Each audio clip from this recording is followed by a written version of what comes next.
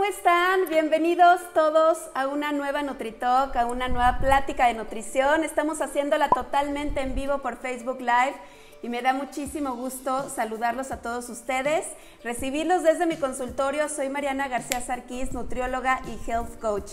Muchas gracias por estar aquí. Antes que otra cosa, eh, les quiero dar las gracias infinitamente a todos los que se inscribieron a mi NutriReto de abdomen plano.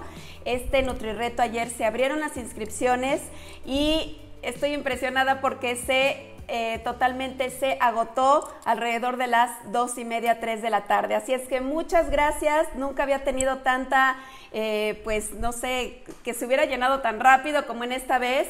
Y no se preocupen porque, bueno, lo que siempre les comento es que en todos mis NutriRetos, que es la forma en la que yo los asesoro, ustedes aprenden el sistema que manejo, ustedes pueden lograr eh, bajar grasa corporal, no nada más del abdomen, sino en general por lo tanto, bueno, pues esperen el próximo NutriReto que viene para octubre.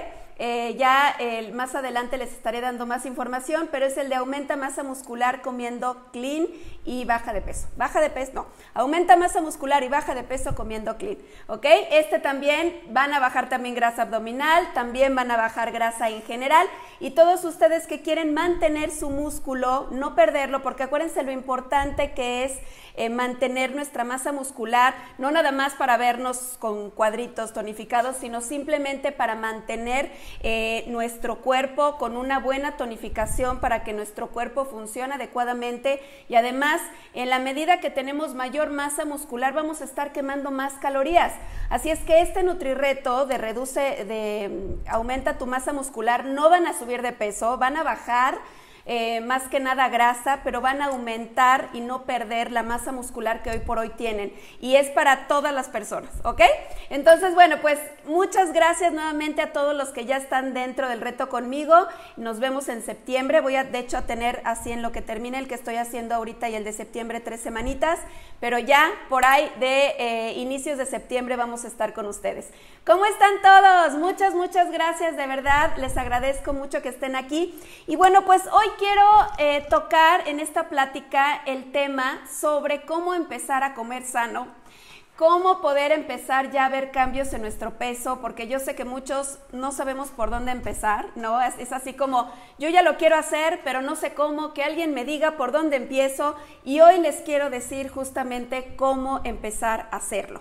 Número uno, apunten, número uno, no lo vean esto como una dieta no lo vean como algo eh, temporal, algo que simplemente voy a hacer para que ya me quede la ropa o para que me pueda yo ir a la playa ahora, ahorita en verano, sino algo más allá. ¿Y cómo podemos hacerlo? Pues simplemente empezar a hacer cambios chiquitos, no quitar grupos completos de alimentos, no decir nunca más vuelvo a comer esto, nunca más vuelvo a comer lo otro, porque además acuérdense que en la medida en la que nosotros tenemos algo que nos están prohibiendo es lo que más vamos a querer. Yo creo que es muy importante siempre empezar con metas cortitas. Por ejemplo, ya no voy a tomar refresco, ahora voy a, estar, a estar, tomando más agua. Ya voy a tratar de no estar comiendo, eh, no sé, en, en restaurantes de hamburguesas y de pizzas sino ahora voy a tratar de hacer más comida en casa. Eh, ya voy a tratar de quitar el azúcar añadida, o sea, todos aquellos alimentos que sé de antemano que tienen azúcares, que tienen muchas harinas, vamos a quitar estos postrecitos, mejor los vamos a hacer a un lado. Voy a quitar el azúcar de mesa y voy a utilizar mejor stevia. Todo ese tipo de cambios, que inclusive puede ser un cambio por semana, esto les puede ir llevando a ir cambiando poco a poco los hábitos que teníamos de mucho tiempo atrás con hábitos nuevos. ¿Ok? Eh, importante también el no ponernos el estereotipo de que estamos a dieta, porque cuando eso eh, nosotros mismos lo, lo estamos diciendo, cuando se lo estamos compartiendo, que si nuestra familia, que si nuestros amigos, es que estoy a dieta, estoy a dieta. Y el estar a dieta es así como el peor castigo del mundo. Y entonces, pues nosotros nos sentimos mal y no es algo que sea padre porque yo veo que todos comen menos yo. No, más bien, estoy aprendiendo a comer, le estoy dando a mi cuerpo lo que en verdad necesita para funcionar, para estar saludable y de paso, obviamente, voy a estar bajando centímetros, medidas. A mí no me importa tanto los kilos, porque ustedes recuerden que nuestro cuerpo es como un edificio y tiene muchos departamentos y cada departamento puede ser los huesos, los órganos, la sangre, eh, simplemente si estamos menstruando, si estamos estreñidos y eso es lo que vamos a pesar en total. En cambio, si yo busco una talla de ropa donde yo me he sentido cómoda y que esa sea mi prenda meta, más bien estoy buscando que esa prenda meta me quede bien sin estar pensando forzosamente en un número que dice la báscula o que tenga que decir la báscula. Número dos, ya que voy a empezar con esos pequeños cambios, que bueno, eh, si gustan suscribirse a mi canal de YouTube, a Nutricional TV, ahí hay una lista de reproducción que se llama Balancear y Porcionar, donde hablo mucho del sistema que yo manejo de alimentación balanceada. Y también tengo una lista de reproducción que se llama ¿Qué comí hoy?, donde les enseño mucho de los alimentos que yo normalmente consumo y les puede servir para este primer inicio de todo lo que queremos ya eh, pues lograr para comer sano y para bajar de peso. Pero algo que les recomiendo mucho es echarse así como un clavado, no sé, este fin de semana o en un rato que tengan en la tarde y analizar exactamente qué tienen ustedes en su alacena, qué tienen en su refri.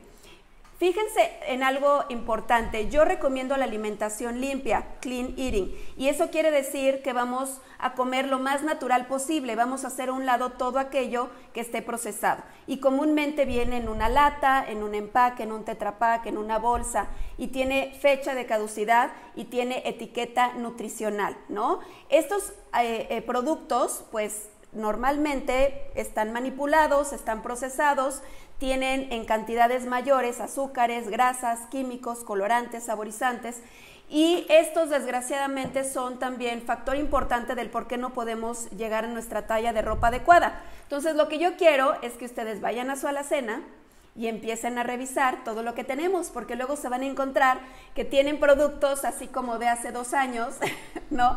Que nunca utilizaron y que ahí se quedaron. Entonces, vamos a sacar todo lo que ya no funciona, vamos a sacar lo que verdaderamente vemos que está 100% procesado y, traten de dejar simplemente lo que sí les va a nutrir y les va a servir. Ahora, no quiere decir que se acaban de ir al súper y apenas compraron algún producto, pues ya va a la basura, no.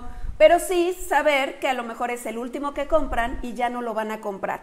Lo mismo sería para el refrigerador, que su refri esté lleno de colores, que tenga frutas, que tenga verduras, que tenga huevo, que, que tenga pollo, este pescado, ¿no? Y evitar pues embutidos, evitar lácteos, evitar, eh, no sé, eh, tocino, chorizo, jamones, salchichas, quesos procesados, quesos de estos amarillos que son puro químico y mejor que sean alimentos enteros, alimentos de verdad. Así es que les dejo de tarea que revisen ese refri y que si tienen mucho de esto para el próximo lunes que van a tener comida nueva o que hicieron su, súper o, o van al mercado, que de preferencia sean alimentos reales y de verdad. Ok, el paso número 3. Vamos a tratar de consumir alimentos nuevos. ¿Cómo? Sí, eh, cuando yo recomiendo los nutrijugos, de pronto me dicen chayote crudo, betabel crudo, híjole, como que no me late calabacita, y esto es porque no estamos acostumbrados a consumir algunas verduras. Y créanme que se van a sorprender de comerse el, el, chayote, que bueno, lo pueden googlear si es que viven en otro país para que vean cuál es, o el betabel, que es la remolacha, de forma cruda, sabe delicioso combinado con eh, una fruta por persona y poniéndole limoncito y la mezcla de todas las demás verduras. Así es que si hay algo que no han probado, eh, sería muy buena idea buscar en un recetario. Pueden inclusive eh, buscar en, mis recetarios, que son súper recomendables porque vienen puras recetas con alimentos limpios y estos están en mi tiendita, en la tienda virtual.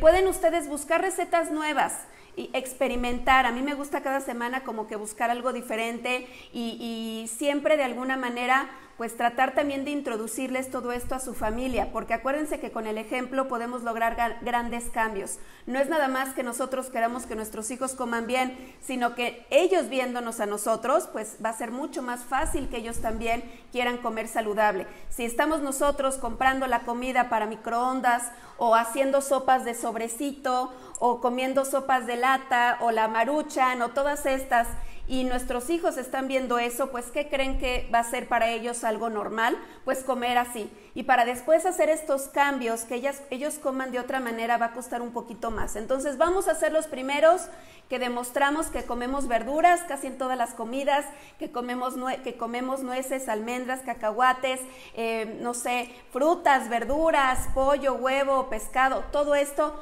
y nos va a ayudar a hacer el cambio todavía mejor. Y la número cuatro, porque son cuatro puntos que les voy a dejar el día de hoy, pues simple y sencillamente darnos cuenta que el que nosotros empecemos a cocinar, el que nosotros empecemos a armar nuestras comidas, número uno nos va a ahorrar mucho dinero, a estar comprando todos los días fuera y demás. Simplemente nos podemos llevar nuestro topercito a la escuela, al trabajo, donde vayamos. Número dos, eh, nos vamos a dar cuenta de grandes sabores que existen naturales sin que les pongan tanto químico, eh, por ejemplo el glutamato monosódico que le ponen a muchas comidas para potencializar sabores, es algo artificial, no es algo real.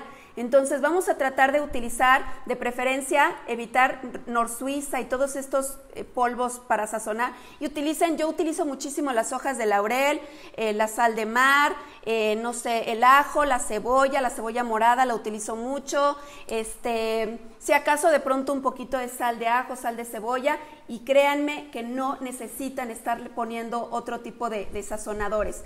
Además, creo que es bien importante el siempre saber que está en nosotros poder estar comiendo de una forma más saludable, no estar culpando a otros, es que no me deja porque me compra esto mi marido o siempre hay postres en mi casa, entonces no puedo, de verdad, si es algo que queremos hacer, si queremos ya tomar el control de nuestra alimentación, de nuestra salud y sobre todo de, de tener un peso adecuado para estar sanos, no nada más por vanidad, sino para estar sanos y para sentirnos con una autoestima todavía mejor, pues creo que la verdad de las cosas es que nos va a servir muchísimo empezar tocar todos estos puntos. Espero que les ayude, espero que les sirva. Vayan a mi canal de YouTube, a Nutricional TV, donde van a poder ver muchos, muchos otros videos sobre todo esto, cómo empezar a hacer los cambios, cómo comer limpio, cómo balancear sus comidas. Y pues si les gustó y si les funcionó, los invito a compartirlo para que más personas lo puedan ver. Les mando muchos, muchos besos. Seguimos por aquí. Eh, que tengan excelente día y muchas gracias. Cuídense mucho. Bye.